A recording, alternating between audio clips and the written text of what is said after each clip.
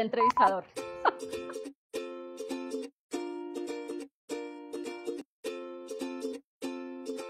Eh, emprendedora, trabajadora, eh, madrugadora.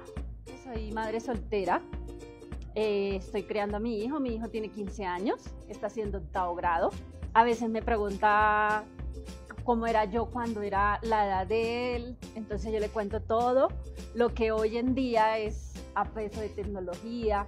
Yo me crié sin tecnología. Entonces él dice, ah, mami, vivían en la época de la piedra.